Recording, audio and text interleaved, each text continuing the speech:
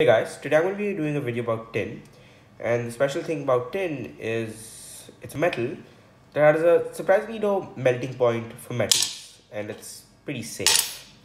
And if I start dropping it, I can show you that if you have a frying pan and uh, oven or stove right here, the stove can reach about 300 degrees Celsius, 600 Fahrenheit-ish and that's actually enough to melt tin. Don't do those numbers for exact, but it works. You guys can see here are the same tin piece of metal on a heated pan. If I just drop it through and just zoom in a bit, you can see that slowly liquefying with a pool of metal. Now for a normal person, looks pretty weird because metal is like the last thing you'd see for liquid. But compared to a person like me who does a lot of science experiments, good thing about tin is that it melts on your stove. So you don't have to build a proper furnace and everything. Low, easy to melt on a pan melting point is you just take some dumb molds like even just aluminum foil. Aluminum won't melt on a pan. There is a much higher melting temperature compared to tin. So you can literally make a dumb aluminum mold like this and you'll get literally a liquid metal cast. And for a normal person just to make a liquid metal cast out of dumb stuff you buy on the internet in a pan it's pretty revolutionary compared to just having uh, try to build a proper furnace. And for my channel i will build a proper furnace like a grant thompson one but that's later in the future. For now just a stove and some tin does. Uh, one stupid tangent in the middle. One thing about tin is uh, low melting point also pretty fragile. So if you have these tin bars right here you can just easily bend it open. And it's no it's still weak. It's like hard rubber or something still metal so technically I can bend metal with my bare hands. Just a weird flex for there and um, this thing called tin cry and if you bend tin the crystal inside it will start shattering and they make a noise. It's called the tin cry. And if I put the tin really close I think you can hear it.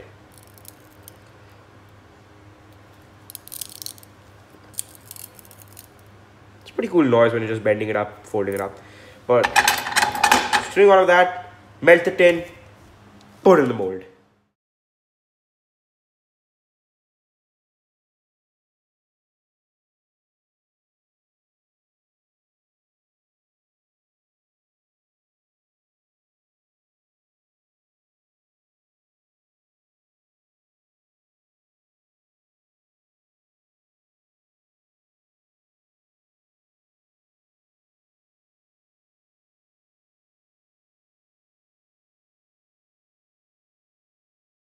Till it is all melted and done full on liquid.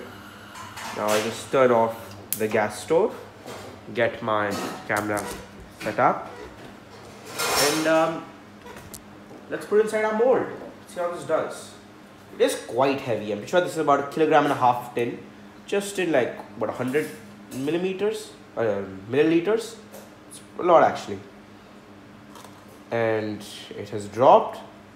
It's filling it in hopefully there's no leaks. And we're done.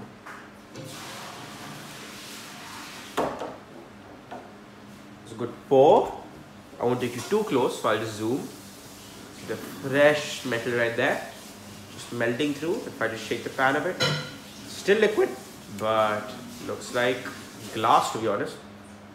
Probably can see some reflection in there but you know just let it cool for a bit and I'll show you the mold. Oh, While our tin is cooling I just want to show you guys this tin structure I made before.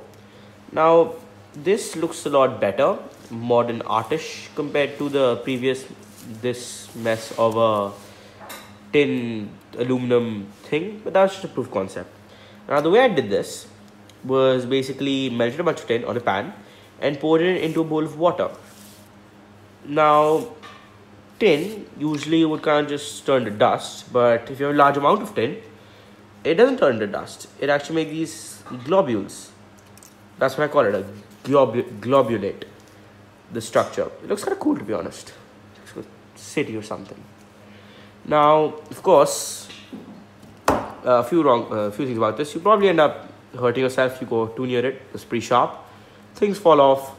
But you know it's pretty cool like mantle structure. If somehow you can not drop it or make people touch it because somebody went like this and dropped on the foot, that probably puncture the living hell out of it. But this globulate thing aside, I think our structure is almost ready. We have our mold all cooled down. Now you can either wait like half an hour for it to fully cool down naturally. And the good thing about that might be you might get less of aluminum stuck to your final mold. Or you can just wait like 5 minutes for it to solidify, still be hot, and then just blast with cold water. Which is exactly what I did. That's why it's dripping wet. But you know, I just don't want to show how amazing it can look, but more proof concept. So just pulling it apart now. And yeah, tin oxides, ignoring this weird part, to form pretty nice goldish color. Okay, now that's one problem about water cooling. Aluminum sticks to it a lot. And I mean, that looks a lot like gold to be honest. I'll just focus on that. That looks strangely like gold. And this feels like it'd be foily because of the aluminum foil pattern, but strongly, this probably weighs a kilo. It's not very big, and that is hard. I mean, if you draw play button in that, that looks like gold play button. Much uglier, but you know, gold play button nonetheless. If I just strip away this aluminum, large part, kind of see uh, what I mean. This tin structure was made just from a stove and special metal that melts on a stove at a low enough temperature. And basically what I mean is the thing to think about tin is it's just easy to cast. That's how to sum up this video. I just want to show you cool tin stuff I made, especially the globulate thing. So yeah, go burn some in your house. I mean, don't burn it, melt some in your house and cool molds for all day. If you it dry in a pan, turns to metal pancake.